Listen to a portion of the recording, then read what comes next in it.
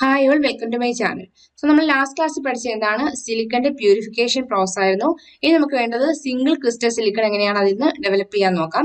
Next step is crystal growth നമുക്കിവിടെ ഉള്ളത് poly silicon roads ആയിട്ടാണ് നമുക്കിവിടെ ഇലക്ട്രോണിക് ഗ്രേഡ് സിലിക്കൺ കിട്ടുക. നമ്മൾ ലാസ്റ്റ് ക്ലാസ് എന്താ പഠിച്ചത്? അവിടെ ഒരു കെമിക്കൽ വേപ്പർ ഡെപ്പോസിഷൻ ടെക്നിക്ക് വെച്ചിട്ട് ഒരു സിലിക്കൺ റോഡ് ആയിട്ടല്ലേ കിട്ടുന്നത്. ഒരു പോളി സിലിക്കൺ റോഡ് ആയിട്ടാണ് അവിടെ സിലിക്കൺ കിട്ടിയിരിക്കുന്നത് ഇനി അതിനെ നമുക്ക് വീണ്ടും എന്ത് ചെയ്യണം? ഒരു സിംഗിൾ ക്രിസ്റ്റലായിട്ട് മാറ്റണം.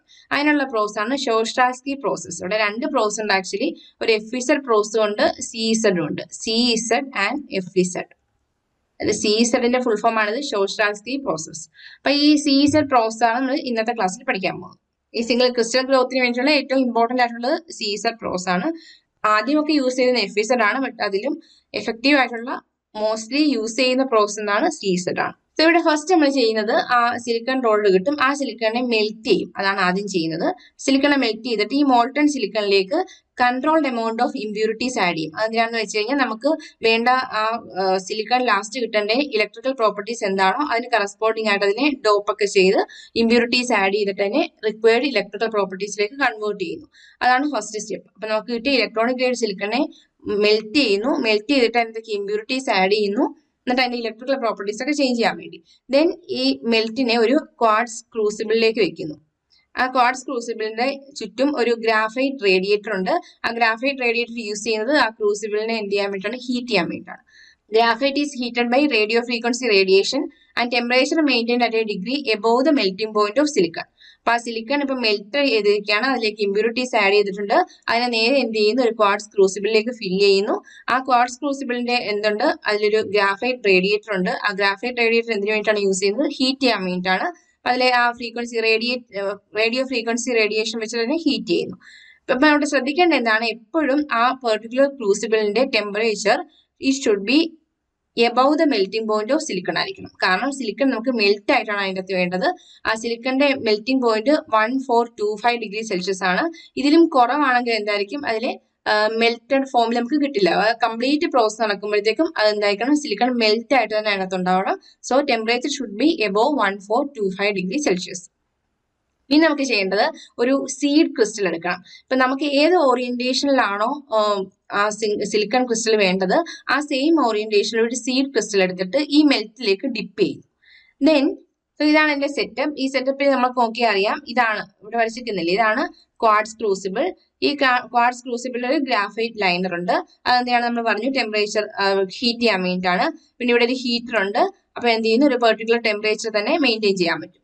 ഇത് ആ ക്രൂസിബിളിന്റെ ഒരു സപ്പോർട്ടാണ് ഇത് ഇവിടെ വരച്ചിരിക്കുന്നത്. പിന്നെ ഇത് ടോട്ടലി ഇതിനെ കവർ ചെയ്യാൻ ഒരു ഷീൽഡും ഉണ്ടാവും. ഇവിടെ നമ്മൾ നോക്കിയാൽ അറിയാം ഒരു സീഡ് ക്രിസ്റ്റലിനെ ഒരു ക്രിസ്റ്റൽ ഹോൾഡർ ആണിത്. ഈ ക്രിസ്റ്റൽ ഹോൾഡറിലേക്ക് നമുക്ക് ഏത് ഓറിയന്റേഷൻ ആണോ സിംഗിൾ ക്രിസ്റ്റൽ സിലിക്കൺ വേണ്ടത് ആ പെർട്ടിക്കുലർ ഓറിയന്റേഷനുള്ള ഒരു സീഡ് ക്രിസ്റ്റൽ ഇതിലേക്ക് വെച്ചിട്ട് അതിനെ എന്ത് ചെയ്യുന്നു? ഇത് ഇത്രയും മെൽറ്റ് ആണ്. ഇതിനകത്ത് ഫുൾ എന്താണ്? സിലിക്കൺ മെൽറ്റ് ആണ്. ഇതിലേക്ക് എന്ത് ചെയ്യുന്നു? ആ സീഡ് ക്രിസ്റ്റലിനെ ഡിപ്പ് ചെയ്യുന്നു. ഡിപ്പ് ചെയ്തിട്ട് നെക്സ്റ്റ് അവർ ചെയ്യുന്നതാണ് then the seed gradually withdrawn vertically from the melt while simultaneously being rotated.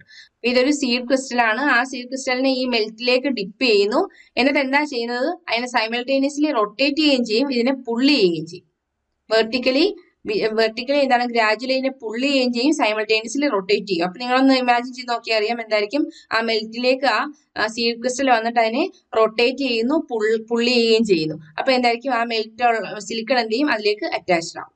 Silicon അങ്ങനെ അതിനകത്ത് എന്തായിരിക്കും? സോളിഡ് ആയിട്ട് അതിലേക്ക് ഇങ്ങനെ അറ്റാച്ച്ഡ് ആവും. അപ്പൊ ഏതാണോ സീഡ് ക്രിസ്റ്റൽ എടുത്തിരിക്കുന്നത് അതിന്റെ സെയിം ഓറിയന്റേഷൻ തന്നെയായിരിക്കും അതിലേക്ക് അറ്റാച്ച് ആവുന്നത്. ഇതിലെ മെൽറ്റ് കംപ്ലീറ്റ് ആയിട്ട് കൺസ്യൂം ആവുന്നവരെ ഈ പ്രോസസ് എന്ത് ചെയ്യുക? കണ്ടിന്യൂ ചെയ്യും. മനസ്സിലായില്ലേ? അപ്പൊ ഇതാണെന്ത്? ക്വാഡ്സിന്റെ ക്രൂസിബിൾ ആണ്. അതിനകത്തേക്ക് മെൽറ്റ് ഉണ്ട് സിലിക്കൺ മെൽറ്റ് ഉണ്ട്. ടെമ്പറേച്ചർ എഴുതണം. എപ്പോഴും മെൽറ്റിംഗ് പോയിന്റ് എബോ ആയിരിക്കണം. ഒരു സിംഗിൾ ക്രിസ്റ്റൽ ഇതിലേക്ക് ഡിപ്പ് ചെയ്യുന്നു. അതിനെ പുള്ളി ചെയ്യുന്നു. സൈമൾട്ടേനിയസ്ലി റൊട്ടേറ്റ് ചെയ്യുന്നു. അപ്പൊ അതിലേക്ക് ഈ മോൾട്ടൻ ആയിട്ടുള്ള സിലിക്കൺ അതിലേക്ക് അറ്റാച്ച്ഡ് ആവും. ഇനി ഇവിടെ ഇമ്പോർട്ടന്റ് ആയിട്ട് ശ്രദ്ധിക്കേണ്ട രണ്ട് പാരാമീറ്റേഴ്സ് ആണ് പുൾ റേറ്റും ക്രിസ്റ്റൽ ഗ്രോത്ത് റേറ്റും പുൾ റേറ്റ് എന്ന് വെച്ച് കഴിഞ്ഞാൽ അതിനെ പെർ സെക്കൻഡ് എത്ര പുള്ളി ചെയ്യുന്നുണ്ട് എന്നുള്ളതാണ്. എത്ര ഫാസ്റ്റ് ആയിട്ടാണ് പുള്ളി ചെയ്യുന്നത്. അപ്പൊ അവിടെ ശ്രദ്ധിക്കേണ്ട കാര്യം അവിടുത്തെ പുൾ റേറ്റ് ഒത്തിരി ഫാസ്റ്റ് ആയിട്ടാണെങ്കിൽ കറക്റ്റ് ആയിട്ട് ആ സിംഗിൾ ക്രിസ്റ്റൽ ഫോർമേഷൻ പ്രോപ്പർ ആയിട്ട് നടക്കില്ല. പെട്ടെന്ന് വളരെ ഫാസ്റ്റ് ആയിട്ട് തന്നെ ആ സീഡ് ക്രിസ്റ്റലിനെ പുൾ ഔട്ട് ചെയ്യുകയാണെങ്കിൽ എന്ത് ചെയ്യുന്നു? ആ പ്രോപ്പർ ആയിട്ടുള്ള പ്രോസസ് നടക്കുന്നില്ല.